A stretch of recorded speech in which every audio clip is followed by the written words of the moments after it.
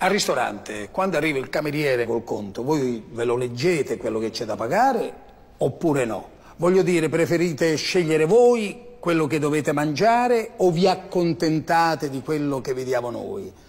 Perché se non l'avete ancora capito, qua noi stiamo a rifare l'inciucio, come con la bicamerale, come col compromesso storico. Fatevelo raccontare il compromesso storico, parlo ai giovani qua, dai vostri genitori, cos'è stato.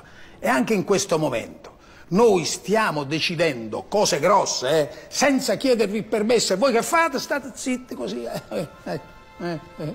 E allora? Voglio dirvi una cosa, per conservare la vostra identità come cittadini, questo paese dovete pretendere di inserire un nuovo articolo nella Costituzione, l'articolo 140, che dice tutti i cittadini hanno diritto di conoscere la verità. La faccia 12, ma sì, onorevole, ma la verità, se non ce la dite, come facciamo a conoscerla? Eh, avete ragione, perché io sono 40 anni che faccio questo lavoro. Beh, insomma, la verità. E chi l'ha mai detta?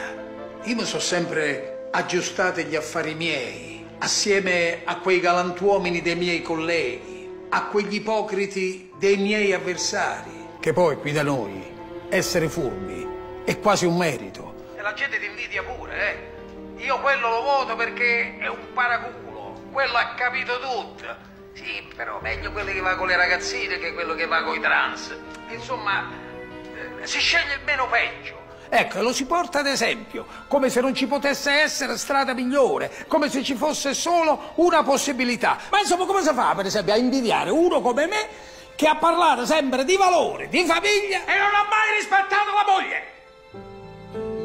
Uno che ha collaborato a costruire un paese dove ci sono persone che avrebbero diritto a un lavoro, ma sono costretti a trovarlo all'estero questo lavoro altri che non ce l'hanno proprio un lavoro, altri giovani che non hanno manco i soldi per andare a cercare lavoro all'estero e sono sottopagati, sono sfruttati, con il timore di essere licenziati da un momento all'altro con la paura che non vedranno mai uno straccio di pensione.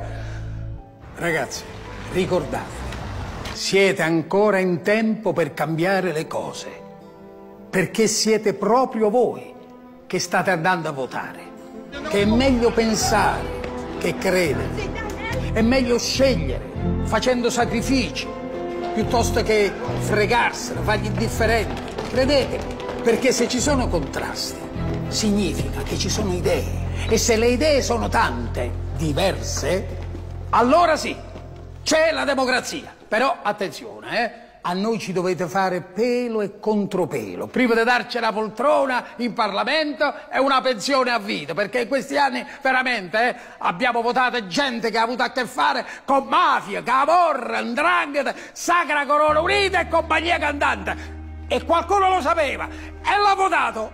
Beh, adesso si è deciso da quest'anno che dobbiamo pensarla tutti più o meno allo stesso modo e dobbiamo stare tutti sulla stessa barca.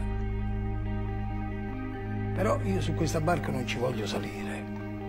Anzi, non ci vogliamo salire. Io non so adesso se questo articolo 140 verrà mai scritto nella Costituzione, ma per quanto mi riguarda, il diritto alla verità per me è già in vigore. Lo sto imparando io, lo stanno imparando anche, anche i miei figli. E spero che piano piano lo imparerete anche voi. Sapete, avrei tante cose da dirvi su come ho gestito questo paese assieme ai miei colleghi. A tante domande sarei capace di rispondere. Però tranquilli, questo non è un comizio. Io ho chiuso questa politica, sono guarito.